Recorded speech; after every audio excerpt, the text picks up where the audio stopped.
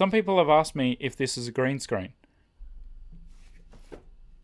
No, this is actually quite old. You can see there's like brown flecks on it. I don't know where. I don't know where brown flecks. I think they're like dead bugs of some sort.